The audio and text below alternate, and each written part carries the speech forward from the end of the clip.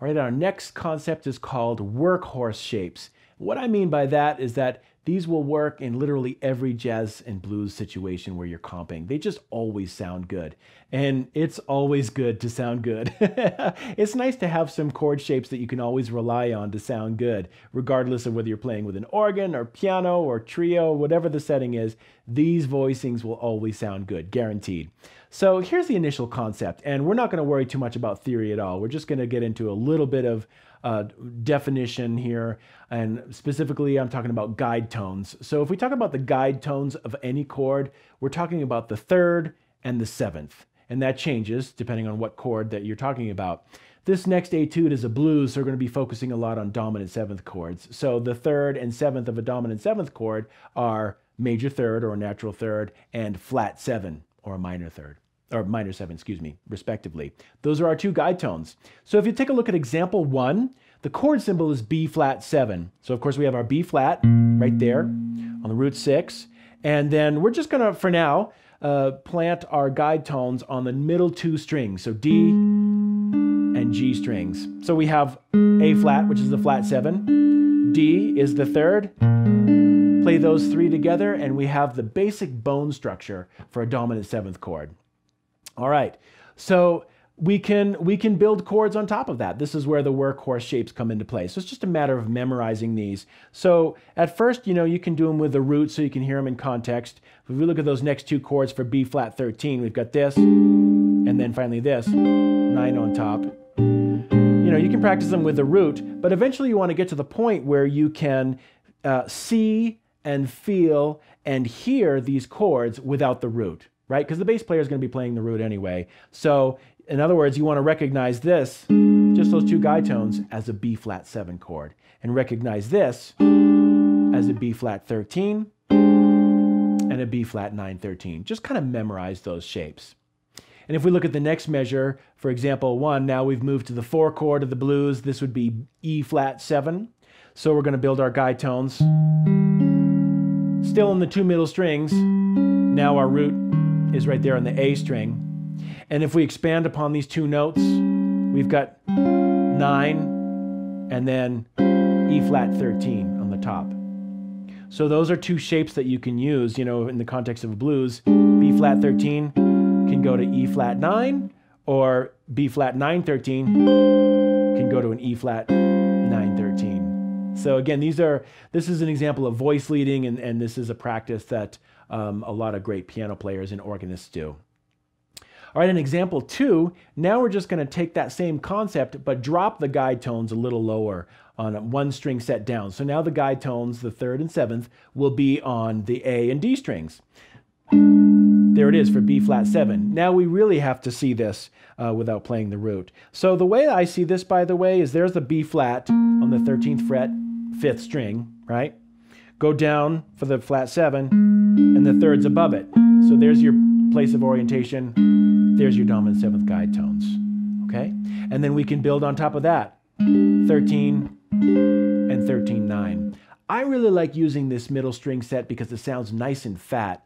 Uh, you know, a great example of somebody that played these types of voicings was Stevie Ray Vaughan. Even though he's playing in a blues context, he played a lot of these tunes, you know, with nines and 13s as an extension.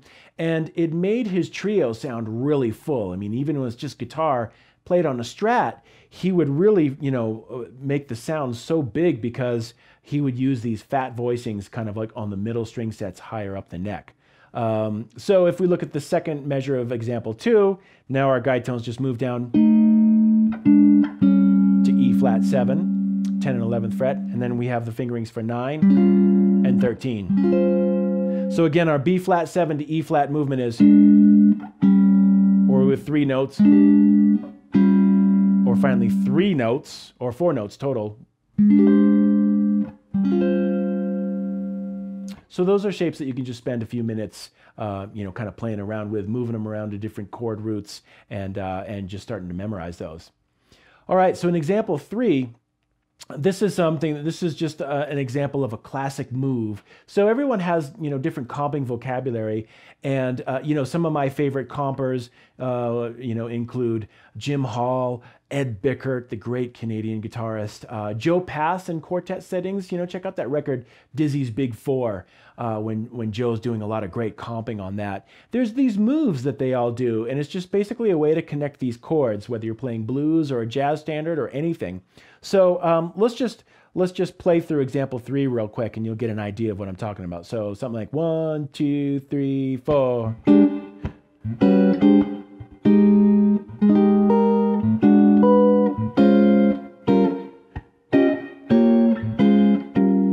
So that's all part of the etude that we're going to check out. Um, but it's just an idea of some things that you can use uh, or some ideas that you can use using these basic workhorse shapes. So again, don't worry about analyzing every note on the chord and saying, you know, where's the ninth, where's the 13th. Don't worry about that. Just memorize these shapes. So we've got our B flat 13, little chromatic approach. And then just some little moves like with a 2 5.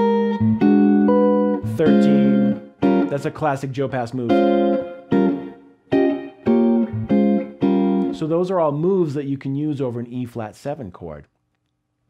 Looking down to example four, here's another technique that a lot of great compers use a lot, and that's using a common tone on top. This is usually used in a turnaround, but if we look at the chords, uh, as we would see in a jazz blues progression, the B flat would then be moving down to the G7. This would be kind of in bar eight leading up to the last four bars.